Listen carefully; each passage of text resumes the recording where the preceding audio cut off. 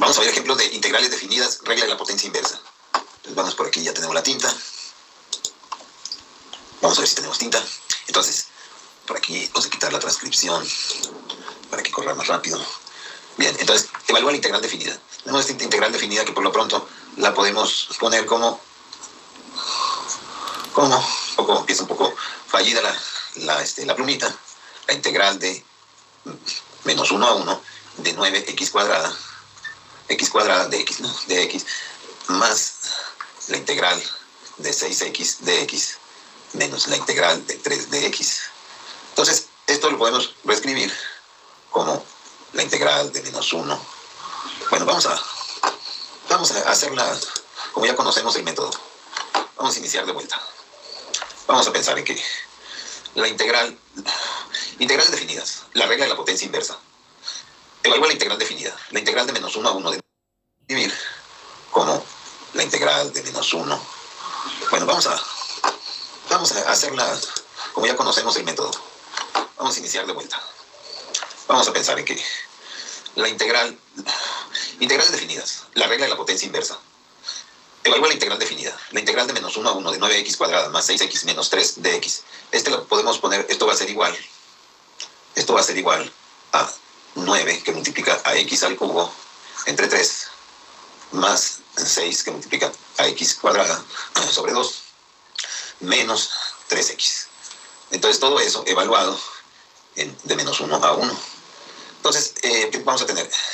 En el primero tenemos, vamos a evaluar, vamos a evaluar en 1, ¿no? Entonces vamos a tener 1 al cubo es, es 1, entonces vamos a tener 9 sobre 3.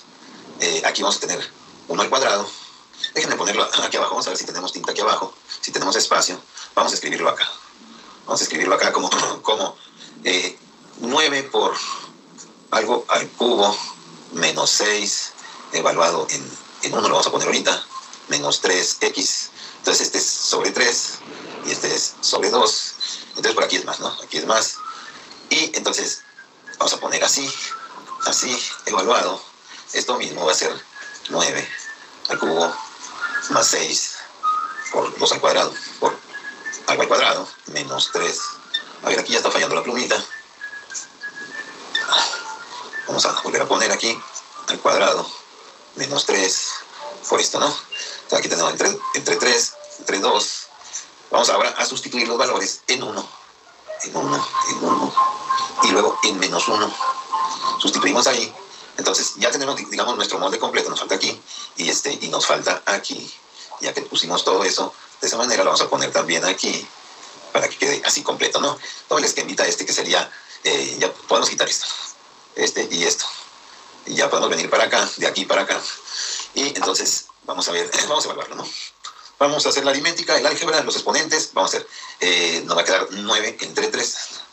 Vamos a hacer 9 entre 3 más 6 eh, medios menos 3, todo esto.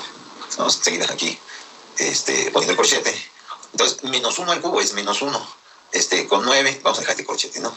El jímete va a ser menos 9 entre 3 y luego, a ver, vamos a ver si nos podemos subir un poquito más. No, ya no nos deja más, ¿no? No nos deja bajar más. Ahí. Entonces, ya, ya tenemos espacio aquí. Entonces, esto va a ser, se va a hacer positivo porque está menos 1 por menos 1, eh, va a desaparecer negativo y vamos a tener eh, más 6 entre 2, ¿no?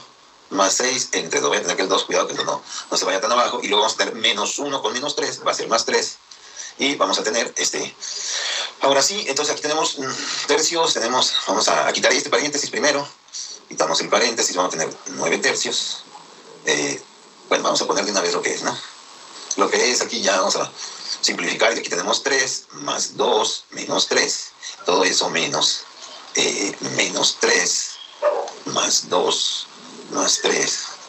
Entonces, ¿qué vamos a tener?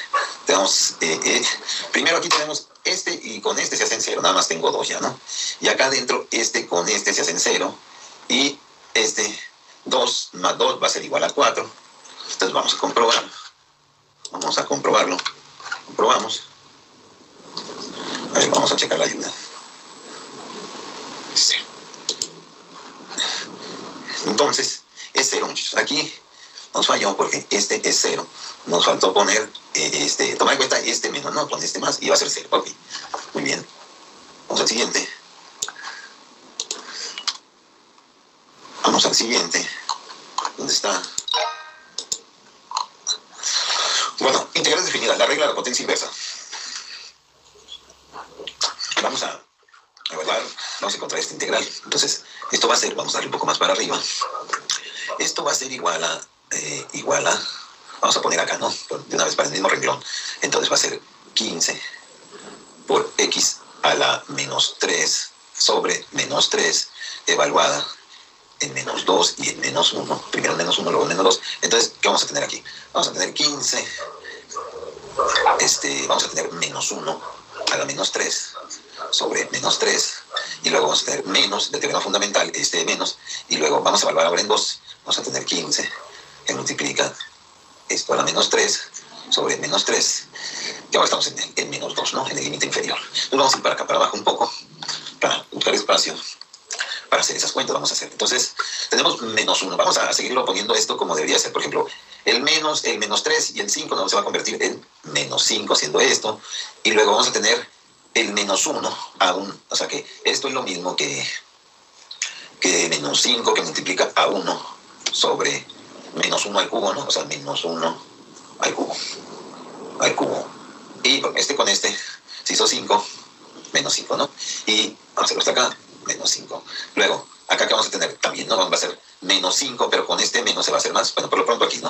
Entonces vamos a tener más 5. Entonces, aquí de una vez lo ponemos como 5 positivo, más 5, pero aquí va a ser, fíjense, va a ser, tenemos menos 5, y entonces va a ser 1 sobre menos 2 al cubo, ¿no? Entonces, al cubo, vamos a ponerlo así, igual que acá, ¿no? Nada más por eso.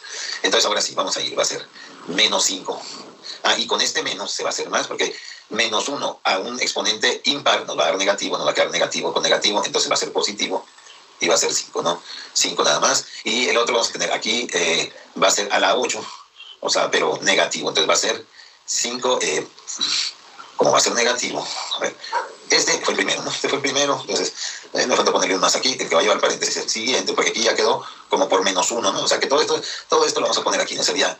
Eh, sería el menos 5 que teníamos por un menos 1, por un menos 1 que es de todo este paréntesis.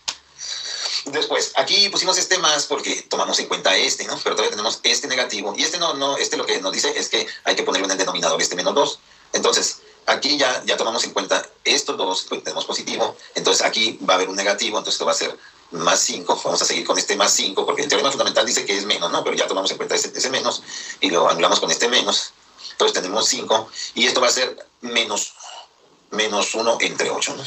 Menos 1 entre 8. Entonces, ¿qué vamos a tener? Vamos a tener 5 menos 5 octavos, lo cual nos debe dar, este, si multiplicamos acá por 8, arriba y abajo, vamos a tener 40 octavos, 40 octavos menos 5 octavos. Eso debe de ser igual a 35 octavos, que vamos a comprobar aquí. Entonces, 35 octavos